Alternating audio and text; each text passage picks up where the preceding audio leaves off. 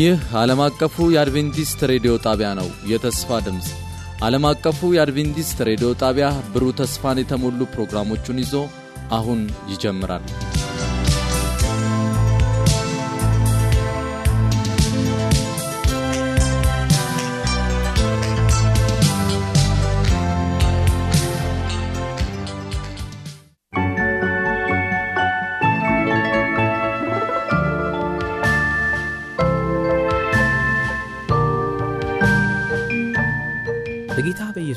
ክርስቶስ ሰላምና ጤና ለእናንተ ይሁን። የፕሮግራማችን ተከታታዮች ዘውትር በዚህ ሰዓት የሚተላለፈውን ሳምንታዊውን የጤና በረከት ፕሮግራም ለማድመጥ ጆሮቻችሁን ያዋሳችሁንን ሁሉ ጌታ ይባርካችሁ፣ እንደምናደራችሁ እንላለን። ዛሬ በሚኖርን ቆይታ የዕለቱ መንፈሳዊ መልእክትና ጤናን በተመለከተ ልዩ ዝግጅት ይዘንላችሁ እንቀርባለን። እስከ ፕሮግራማችን ፍጻሜ ድረስ አብሮነታችሁን በጌታ ፍቅር ስንጠይቅ ለሚኖራችሁ ማንኛውም አስተያየትና ጥያቄ የስልክ መስመራችንን 0115511199 የውስጥ መስመር 242 ወይም 243ን እንዲሁም የመልእክት ሳጥን ቁጥራችንን ዓለም አቀፍ አድቬንቲስት ሬዲዮ የፖስታ ሳጥን ቁጥር 145 አዲስ አበባ ብላችሁ ብትጽፉልንና በአጭር የጽሑፍ መልእክትም ደግሞ በ0931 670027 በመጠቀም ታደርሱን ዘንድ እናስታውሳችኋለን። ደውሉልን፣ ጻፉልን፣ በደስታ እናስተናግዳችኋለን። አሁን በቀጥታ ወደ ተዘጋጀው የጤና ፕሮግራም እንተላለፋለን። ጌታ ይባርካችሁ።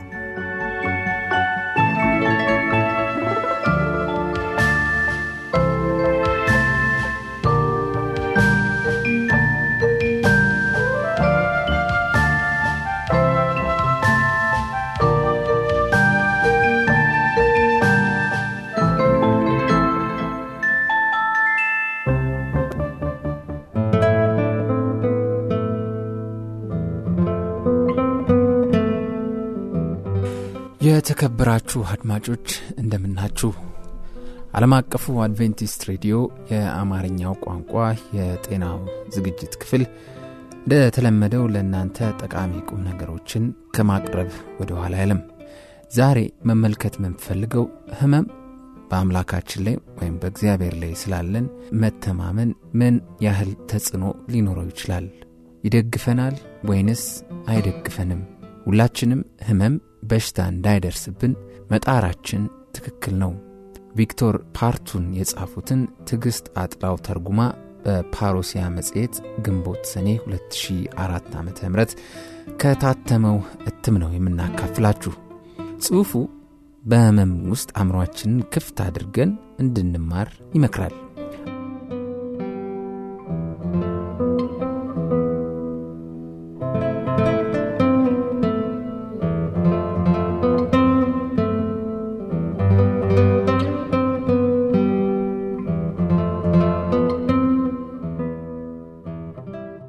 ዮሴፍም በብሉይ ኪዳን መጽሐፍ እንዲሁ በስቃይ ውስጥ በማለፍ በእግዚአብሔር ላይ መደገፍን ተምሯል። የዮሴፍ ወንድሞች ትራፊ ለማጋበስ ሲሉ በባርነት አሳልፈው ለመሸጥ ከመወሰናቸው በፊት በሞትና በሕይወት መካከል በመጣል ክደውት ነበር። ከዓመታት ቆይታ በኋላ ግን ኃያል ሰው በመሆን ወንድሞቹን ሁሉ በይቅርታ ሲገናኛቸው እንዲህ ነበር ያለው እናንተ ክፉ ነገርን አድርሳችሁብኝ፣ እግዚአብሔር ግን ዛሬ እንደሆነው ብዙ ሕዝብ እንዲድን ለማድረግ ለመልካም አስበው። ዘፍጥረት ምዕራፍ 50 ቁጥር 12። አሁን ባለንበት የሰለጠነ ዓለምም ይህንን የመሰሉ ታሪኮችም አልጠፉም። ጃሚስላቭ የቆዳ በሽታ እንዳለባት ሲነገራት ገና የመለስተኛ ትምህርቷን እየተከታተለች ነበር። የማያቋርጥ የመገጣጠሚያ ህመም ሳያንሳት ህመሙን ለማስታገስ በምትወስዳቸው መድኃኒቶች ምክንያት ክብደቷም እየጨመረ ያስቸግራት ነበር። በዚህ የሚያሰቃያት በሽታ ውስጥ ሆና ከበሽታው ጋር መኖርን በመለማመዷ በምቾት ማጣት ውስጥ በረከት በማለት ትናገራለች። ይህች ወጣት እንዲህ አለች፣ እግዚአብሔር ማንኛውንም ነገር የሚያደርገው ለዓላማውና ለምክንያት ነው። እግዚአብሔር ፈቅዷል። ስለሆንም ከእርሱ ጋር የሆነውን ሁሉ አደርጋለሁ። በዚህ ህመም ምክንያት ይበልጥ ወደ እግዚአብሔር ወደ ቤተሰቦቼና ወደ ጓደኞቼ እንድቀርብ አድርጎኛል። በዚህም ጠንካራ ሆኛለሁ። ደግሞ ማን ያውቃል እንደ እኔ በዚህ በሽታ ለሚሰቃይ ሰው መጽናኛ ሆኜ ይሆናል።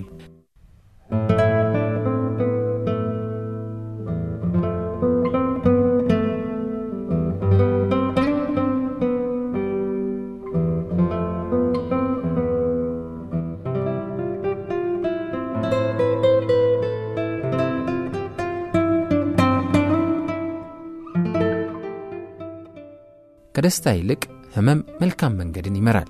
ያለምንም ሕመም ልንማር አንችልም ይላል ታላቁ ፈላስፋ አርስቶትል። በእርግጠኝነት ገጣሚው ሮበርት ብራውኒንግ ሃሚልተንም ተመሳሳይ ነገርን ያነሳል እንዲህ በማለት አንድ ማይል ከደስታ ጋር ተረማመድኩ። መንገዴ ፌዝ የተሞላ ነበር። በምትናገረው ነገር ሁሉ አንዳች ጥበብ አልቀረልኝም። አንድ ማይል ከሐዘን ጋር ተረማመድኩ። ምንም ቃል አልተለዋወጥንም። ከሐዘን ጋር በተረማመድኩ ጊዜ አቤት የተማርኳቸው ነገሮች ብዛታቸው። ባለቤቱን ደግሞ በሞት የተነጠቀ አንድ ሰው እንዲህ አለ፣ አንተ ሐዘን፣ አንተን በመገናኘቴ ብዙ ተማርኩኝ። ከጠለቀ ሕመም አሁንም አሁንም እንዴት መላልሼ መውጣት እንደምችል አስተማርከኝ። ያለብኝንም ችግር በማሳየት ሌሎችን በምን መልኩ መርዳት እንደምችል አሳየኸኝ። ሕመምን በምን መልኩ መቀበል እንዳለብኝ፣ ምን ማድረግ እንዳለብኝም ተማርኩን። ታዲያ ሕመም ሌሎች አማራጮችንና መልካም አጋጣሚዎችን እንድንፈትሽ ይረዳናል፣ ይገፋፋናል።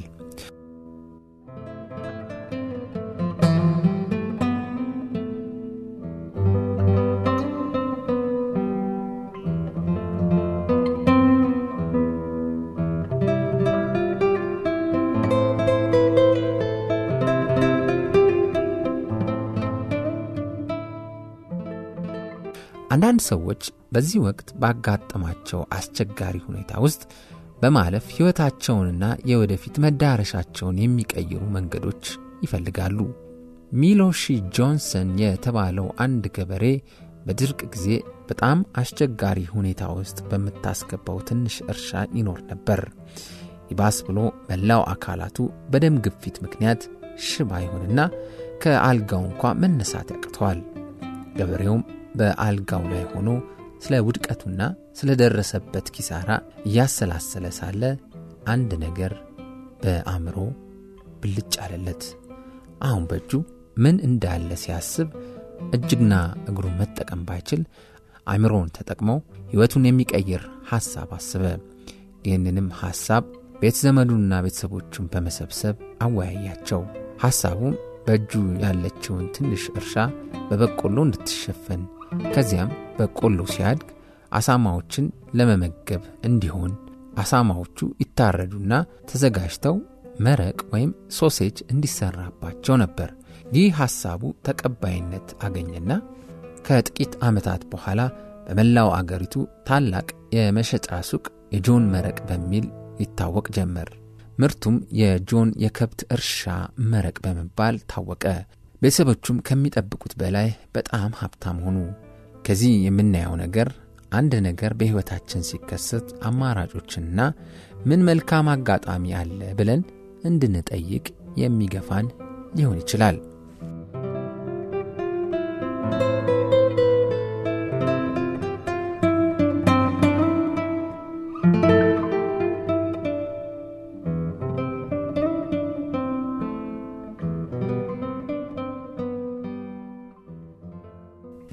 ከ Sign of the Times ከሚባለው መጽሔት የተተረጎመ ነው። ዓለም አቀፉ አድቬንቲስት ሬዲዮ የተስፋ ድምፅ የአማርኛው ቋንቋ ዝግጅት ሁልጊዜ ለእናንተ ይጠቅማል፣ ይበጃል ብሎ ያመነበትን ሁሉ ወደ እናንተ ጆሮ ከማድረስ ወደ ኋላ አይልም። አብራችሁን እንድትቆዩ በድጋሚ እንጋብዛለን። እስከ ሳምንት መልካም ጊዜ።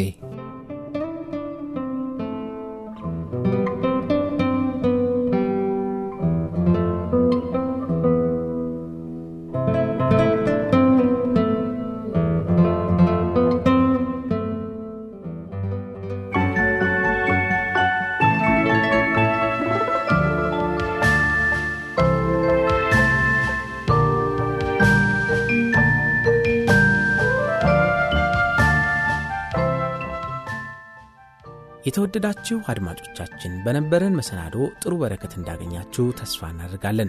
አዘጋጅቶ ያቀረበውን ኤፍሬም ዮሐንስን ጌታ ይባርክ እንለዋለን። ከዚህ በመቀጠል ደግሞ የዕለቱ መንፈሳዊ መልእክት የሚቀርብበት ጊዜ ይሆናል። አብረን እንከታተል። ይህ ዓለም አቀፉ አድቬንቲስት ሬዲዮ ነው።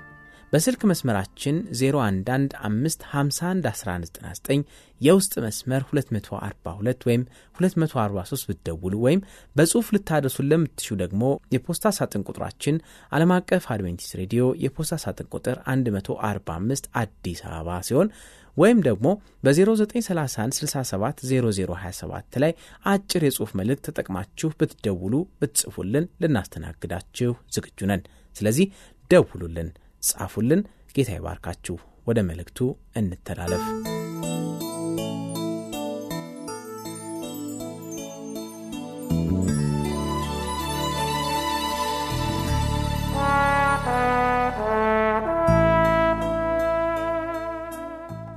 የተወደዳችሁ አድማጮች ቀጥልን የምንመለከተው ኢየሱስ ጥበብ ነው የሚለውን ነው። ይህም የተመሠረተው ምሳሌ 8 ከቁጥር 12 እስከ 36 ባለው ላይ ነው። ጊዜ ስለማይፈቅድ ነው እንጂ ባነብ ደስ ይለኛል። ግን ከዚያ በፊት ጸሎት እናደርጋለን። የምትወደን አምላካችን እናመሰግንሃለን። ጠባቂያችን ስለሆንክ፣ ጌታችን ስለሆንክ፣ አምላካችን አባታችን ስለሆንክ ጥበባችን ስለሆንክ አሁንም አይምሮአችን አብራልን፣ ግለጥልን።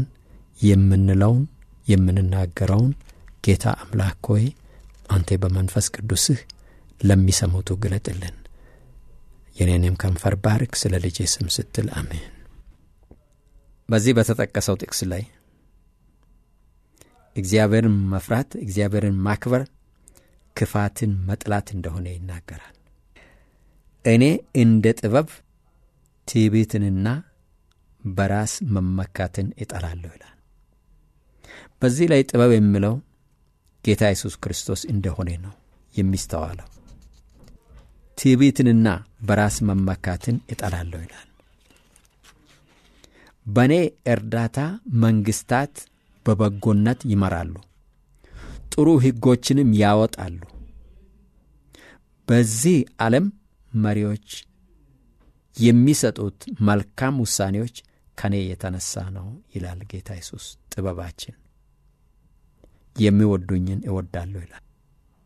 የሚወዱኝን እወዳለሁ። ጌታ ኢየሱስ ክርስቶስ የድነት ዕቅድን ሲያወጣና አብና ወልድ መንፈስ ቅዱስ ይህንን ዝግጅት በሚያደርጉበት ጊዜ ለሁሉም ነው። ነገር ግን ይህንን ወዶ ያልተቀበለ ይጎዳል። ስለዚህ የሚወዱኝን እወዳለሁ ስል የታቀደውን ዕቅድ የሚቀበሉትን ማለት ነው። የሚሹኝ ያገኙኛል፣ ሀብትና ክብር ከኔ ዘንድ ነው። ተዝቆ የማያልቅ ተወስዶ የማያልቅ ብልጽግና ከኔ ጋር ነው። ሊቀበል የተዘጋጀ ሁሉ ይጠቀምበታል ሲል ይናገራል። እኔ የሚሰጠው ብልጽግና ከንጹሕ ወርቅ የበለጠ ነው ይላል። ከንጹሕ ብር የላቀ ነው ይላል።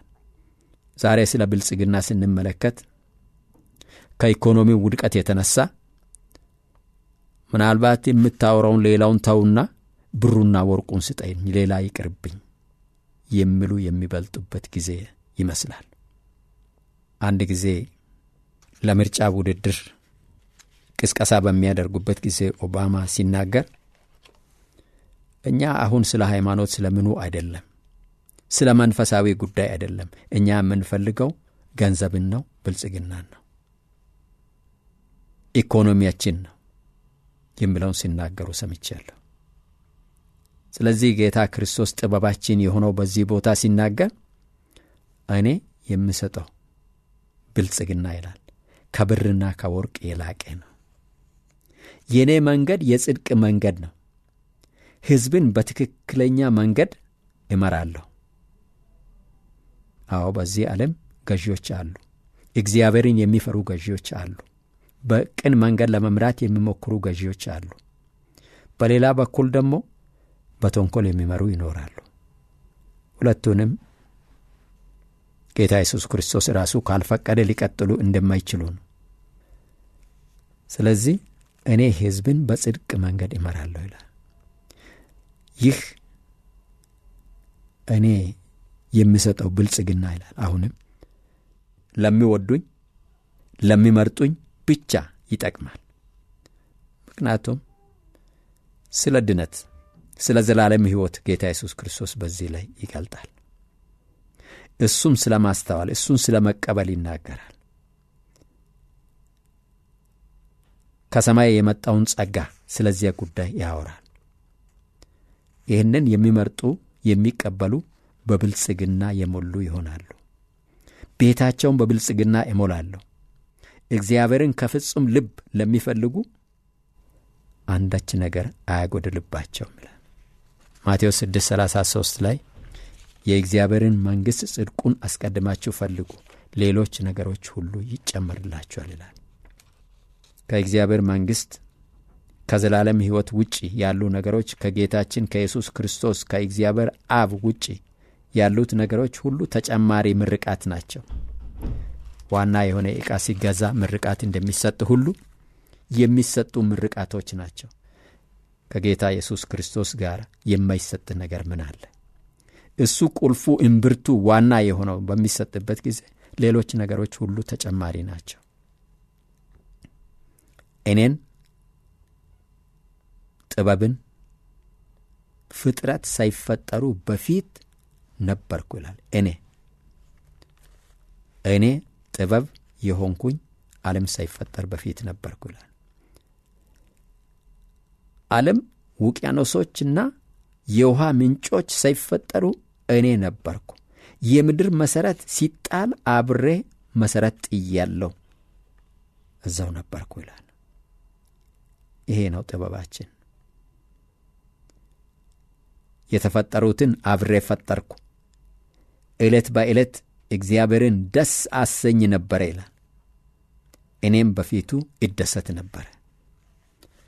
አው ዛሬ የተለያዩ መንፈሳዊ ነገሮች አንዳንዶቻችን ያስጨንቃሉ። ጾም፣ ጸሎት ሲባል እንደ ሸክም ይቆጠራሉ። ቃሉን ማጥናት ሲባል እንደ ሸክም ይቆጠራሉ። የተለያዩ መንፈሳዊ አገልግሎቶችን ሲባል እንደ ሸክም ይቆጠራሉ። ሰይጣን የሚያመጣው ጫና ነው። እኛም የምናስተናግደው ክፉ አካሄድ ነው። አለዚያ ጌታ ኢየሱስ ክርስቶስ መልካም አገልጋይ የሆነው እረኛ የሆነው ምን ይላል? ዕለት በዕለት እግዚአብሔርን ደስ አሰኝ ነበረ ይላል። እኔ የመጣሁት የኔን ፈቃድ ለማድረግ ሳይሆን የአባቴን ፈቃድ ለማድረግ ነው። የማደርገው ነገር ሁሉ ከራሴ ሳይሆን እሱ የሚነግረኝን አደርጋለሁ ይላል። ጌታ ክርስቶስ የሚነግረንን ማድረግ እንድንችል ኃይል ይስጠን። እኔም በፊቱ እደሰት ነበር ይላል። ተደስተን ጌታን እናገለግላለን። ተደስተን የምናደርጋቸው እናደርጋለን። አስራት ብንመልስ፣ ስጦታ ብንሰጥ፣ ጾም ጸሎት ብናደርግ እነዚያ ፕሮግራሞች በሚመጡበት በናፍቆት ነው የምንጠብቀው ወይስ በመጨነቅ ነው? እርሱ በፈጠረው ዓለም ደስ ይለኛል ይላል። በሰው ዙሪያ በሰው ዘርም ላይ እጅግ ሐሴት አደርጋለሁ። ልጆቼ ሆይ አድምጡኝ ይላል። ልጆቼ ሆይ አድምጡኝ ይላል። መንገዴን የሚከተሉ ይደሰታሉ። የምትማሩትን ነገር አስተውሉ፣ ብልሆች ሁኑ፣ ቸልም አትበሉ። እኔን የሚያዳምጥ በየቀኑ ከኔ ጋር ይሆናል። በየቀኑ በደጃፌ ተግቶ ይገኛል። በቤቴም መግቢያ አጠገብ የሚጠብቀኝ ሰው የተባረከ ነው ይላል። የት ነው የእግዚአብሔር ቤት? እግዚአብሔር በሰው በተሠራ ቤት ውስጥ አይኖርም። ሆኖም በእሱ ዙሪያ የእሱን ታላቅነት፣ የእሱን ኃያልነት እሱ በየቦታ እንደሚገኝ እሱ የሚገኝበት ቦታ ሁሉ የተቀደሰ መሆኑን የሚገነዘብና በዚያ ዙሪያ ቆይታ የሚያደርግ የተባረከ ነው ይላል እግዚአብሔር። እኔን የሚያገኝ ሕይወትን ያገኛል፣ ከእግዚአብሔር ዘንድ ሞገስንም ያገኛል ይላል። እኔን የሚያጣ ግን አንድም ነገር የለውም፣ ሕይወቱ በአደጋ ላይ ነው ይላል። ሕይወቱ በአደጋ ላይ ይወድቃል። እኔን የሚጠላ ሞትን ወዷል ማለት ነው። ሞትን አፈቀረ ማለት ነው ይላል። በእኔ ኃጢአት የሚሠራ በእኔ ጥበብ በሆንኩት ኃጢአት የሚሠራ በነፍሱ የፈረደ ነው። ዕብራውያን ሁለተኛው ምዕራፍ ቁጥር ሁለትና ሦስት ላይ እግዚአብሔር በመላእክት አማካይነት ቀደም ብሎ ተናግሮናል፣ በነቢያትም ተናግሮናል። አሁን በስተ መጨረሻ ግን በልጁ ተናገረን። እጅግ ጥልቅ ስለሆነ ጉዳይ ቀጥሎ ያወሳል። ይህን መጽሐፍ የጻፈው በእነዚያ የተናገረው ነገር ሳይጠበቅ ሲቀር ቅጣት የሚያመጣ ከሆነ በልጁ በኩል የመጣውን ታላቁን መዳናችን ችላ ብለን ብንተው የከፋ ነገር ይሆናል። ታዲያ ከአደጋው ለማምለጥ ምን እናድርግ? የምንሠራውስ ምን አለ? የምንፈጽመውስ ምን አለ? ከዚህ ቀደም በሕይወታችን የተከሰቱ ክስተቶች የሆኑ ነገሮች መንገዳችን ያጠሩ ከጌታ ከኢየሱስ ክርስቶስ ሊለዩን የሚሞክሩ ጥበብ የጎደለባቸው ነገሮች ሊሆኑ ይችላሉ። ጳውሎስ ግን እንዲህ ይላል። በራሱ በኩል የወሰነውን አይነት ውሳኔ መወሰን አለብን። ከዚህ አደጋ ለማምለጥ ጥበብን ለማግኘት በኢየሱስ ክርስቶስ ልንንጠለጠል የሚያስፈልጉ መወሰን የሚገባን ውሳኔ አለ።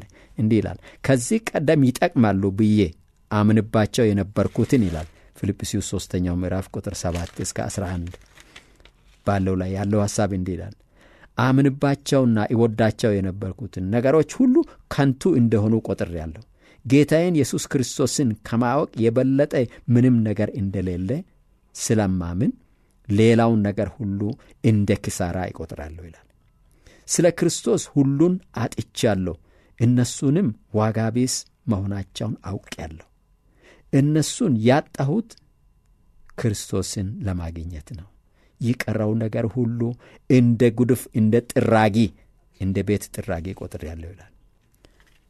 ይህን የማደርገው በሕግ የተመሠረተውን የራስን ጽድቅ ትቼ በእምነት ላይ የተመሠረተውን የእግዚአብሔርን ጽድቅ በክርስቶስ በማመን ለማግኘትና ከእርሱ ጋር ለመሆን ነው። ከእርሱ ጋር ለመሆን ነው። ሌላው ምክንያት አለ ክርስቶስንና የክርስቶስን ትንሣኤ ኃይል ለማወቅ የመከራው ተካፋይ ለመሆንና ሞቱን በሞቱም እርሱን ለመምሰል ነው። እንዲሁም ከሞትኩ በኋላ ተነስቼ ለዘላለም በሕይወት ለመኖር ተስፋ በማድረግ ነው ይላል።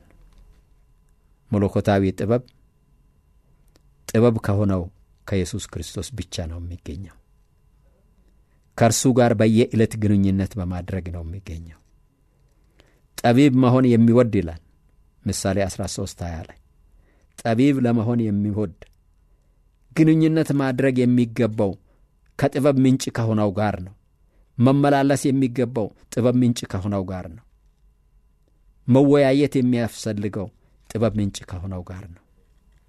ጌታ ኢየሱስ ክርስቶስ ጥበቡን በቃሉ በኩል ሰጥቶናልና ከሱ ቃል ጋር መወያየት፣ ወደ እሱ መጸለይ፣ እሱን ማሰላሰል፣ በየዕለት ከእርሱ ጋር መሆን ከጥበብ ምንጭ ጋር መያያዝ ይሆናል። ይሄንን የማይወድ ግን ይጎዳል፣ መከራ ውስጥ ይገባል። ኀጢአተኞችን መከራ ያሳድዳቸዋል ይላል። ኀጢአተኞችን መከራ ያሳድዳቸዋል፣ ጻድቃንን ግን መልካም ክፍያ ይጠብቃቸዋል ይላል። ይህን መልካም ክፍያውን ለማግኘት ከጥበብ ምንጭ ከሆነው ክርስቶስ ጋር በየጊዜው እንድንገናኝ ጸጋው ይብዛልን።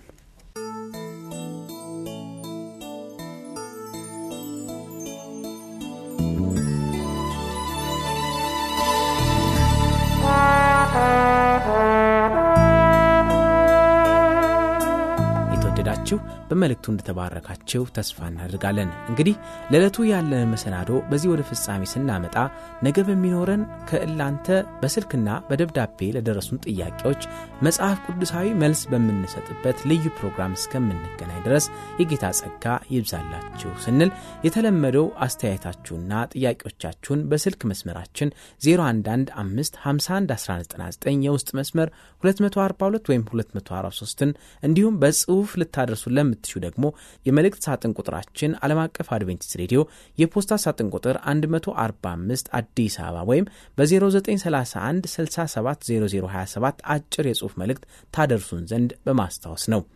የተላለፉ ፕሮግራሞቻችንን በድጋሜ ለማድመጥ ድረ ገጻችን www ኤwr ኦአርጂ ላይ ወይም በፌስቡካችን ላይ awr Amharic ላይ እንደምታገኙን ስንገልጽ በደስታ ነው። የጌታ ጸጋ ይብዛላችሁ። መልካም ቀን።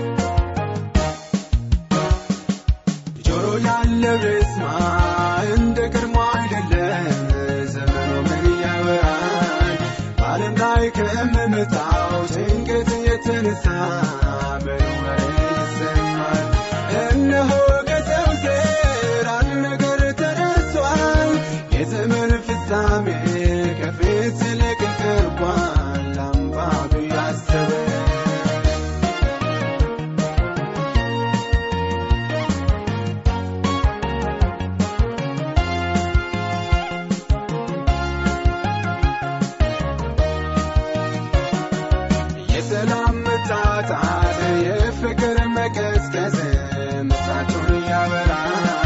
የዓለም ስም መታወክና መረባበሹ ፍጻሜውን መለያየት ሾክቻ ስበዛ እርስ በራሱ ስፋች አምላክን ለመገናኘት ተዘጋ